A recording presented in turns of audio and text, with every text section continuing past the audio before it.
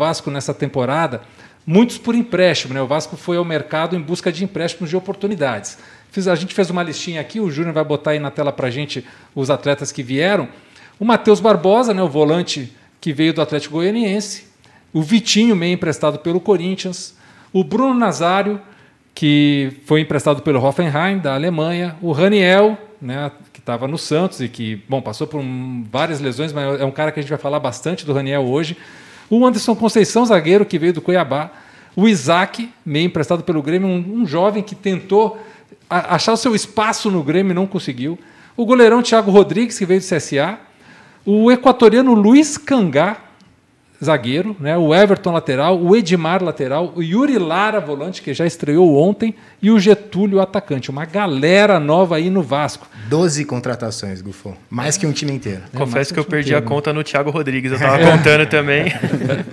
Vamos começar mandando essa bola lá para o Léo. Léo, é, toda essa renovação, quando um clube grande faz assim uma renovação de mais da metade do seu elenco, né?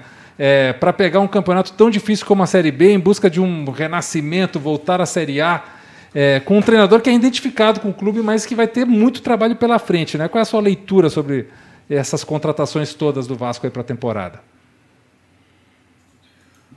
O Gulf, quem nos acompanha, é, eu acho importante nós é, lembrarmos, né? Que essa reformulação a qual passou o time para 2022, ela já havia acontecido em, em 2021 e, e, o Vasco fez uma, uma Série B até certo ponto ruim, né? É, mais ali para segundo terço da, da competição em diante, ele até vislumbrou um acesso após a chegada do, do Fernando Diniz, mas aí com alguns resultados frustrantes dentro de casa, acabou ficando fora da, da disputa, né? Mas se recordarmos, no ano passado, o Vasco havia contratado o Zé, revelado pelo, pelo, Inter, pelo Santos, que tinha uma passagem pelo Internacional, já foi embora, é, contratou o Léo Jabá, é, entre outros, o Morato, né? Sim. É, entre outros, o próprio Nenê chegou em meio à, à disputa da, da Série B. Enfim, o Vasco havia feito um, um mercado até certo ponto é, intenso, né? Se comparássemos a época com outros times da Série B. É o que acontece agora. É, eu acho que o grande problema do, do Vasco, né, ou o, o grande empecilho aí para um, um, possível acesso, não que ele seja impossível, é muito mais o extracampo do Vasco, é o aspecto político né, da, da instituição, o Vasco em si, né, ser o, talvez o seu principal adversário, é o Vasco dentro dele. Né? A organização, o, o qual hoje atravessa o Vasco, é, problemas políticos, né, é, muitas dívidas. O Salgado, um ano como, como presidente, formulação fora das quatro linhas, né? Porque é, começou o, o, ano passado, o, o, o, Lisca, né? Após a, a saída do, do Marcelo Cabo, e depois fechou o campeonato com o Fernando Diniz. É, o Pássaro era o, o, diretor de futebol, já não está mais também. Ou seja, é, indica que o clube ele ainda não encontrou nesse um ano aí com, com o Salgado quais são os, as diretrizes, qual é o norte que o Vasco quer para subir para para a Série A, Gufo. Já para ser um pouco polêmico no início aí, se você me perguntar, mas se você nem me perguntou, mas eu vou te responder. Para então mim, fala. o Vasco é, não estaria no meu G4 ao Opa. final da Série B desse ano. Léo Gomes disse que o Vasco não estará no G4, pessoal. O que vocês acham eu, disso? Não, não, não estaria no meu não. G4. Eu... Não estaria eu... no meu G4. Eu gostei bastante do que o Léo falou sobre o começo de temporada do Vasco no ano passado, algumas semelhanças em trazer muitas contratações. Você pega o começo da Série B, muita gente estava colocando o Vasco como postulante Sim. ao acesso. Mas acabou e não começou acontecendo. bem, né? Começou, começou bem. bem. Como o Léo falou, no último terço do campeonato até chegou a sonhar com uma vaga no G4, mas foi aí que caiu de vez o nível.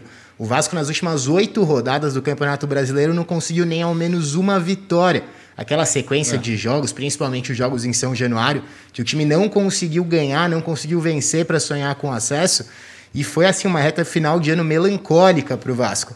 Tanto que no nosso índice, no índice Footstats, o Vasco acabou com, com pontuação de time rebaixado. Foi o quarto pior time no índice Footstats entre os 20 da Série B. Então, final de 2021 foi bem frustrante para o torcedor vascaíno. 2022 começa com uma grande renovação. Perdeu várias peças, o Zeca, como o Léo falou, Leandro Castanho não está mais na equipe. Germán Cano, que era um dos principais sim, símbolos sim. desse Vasco nos últimos anos, também saiu. Tem o Andrei também, que já não está mais no time contrata embaciada, temos que ver se vai funcionar. Começo de campeonato carioca com uma vitória e um empate, a gente vai falar daqui a pouquinho, né? Mais do, do factual do, do, que aconteceu nos últimos jogos. Ô, ô Júnior, coloca pra gente, por favor, aí a provável escalação ideal para 2022 do Vasco, enquanto a gente dá uma olhada nessa escalação. Dedé, Gabriel, eu não sei se o Léo tá conseguindo ver lá também. Mas, mas a gente fez um time aí do Vasco que seria o ideal para 2022, né, gente? Com as contratações e o que a gente pensa que pode uhum. funcionar, que é o Thiago Rodrigues, o Everton, o Cangá, o Conceição e o Riquelme, é, o Yuri Lara, que já estreou, o Juninho, o Gabriel Peck, o Nenê, que a gente ainda espera que seja aquele cara, mas, pô, o Nenê já Ficar contando, esperando com o Nenê já fala muito do Vasco, né? Mas tem entregado. Tem entregado. A gente vai mostrar pô, alguns números dele daqui a é pouco. É verdade, o, o Masman trouxe os números legais dele ali. E o Nazário e o Raniel na frente. O Raniel que tem uma história muito legal que a gente já pode até falar da história das assistências, né? Que ele tá pagando por uhum. assistência 500 reais e já, já desembolsou mil reais aí no Isso. começo do ano. Pois é, prometeu no começo da temporada que todo mundo que desse um passe para gol para ele ia receber quinhentão já pagou 500 na primeira rodada para o Bruno Nazário, pagou 500 agora para o Nenê. Se ele continuar nessa sequência aí, não sei se o salário vai dar para cobrir. vai pedir aumento já.